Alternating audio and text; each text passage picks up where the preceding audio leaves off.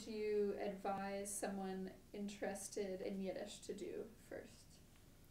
Um, I would say quick learn the language. Um, I think there's amazing texts in translation, and um, but but there's just something to be said for for the language courses, and I've taken so much joy in them. So I would definitely encourage people to to find your closest uh, Yiddish course and do that. Um, and I would also say that whatever it is that you're interested in, whether you know auto mechanics or uh, Yiddish sexology, uh, there's probably material in Yiddish on that subject for you to look into. So, so that would be the other thing to, to encourage people to, to connect, to not have Yiddish as sort of separate from their other interests, but to, to look through Yiddish at the world that they're interested in.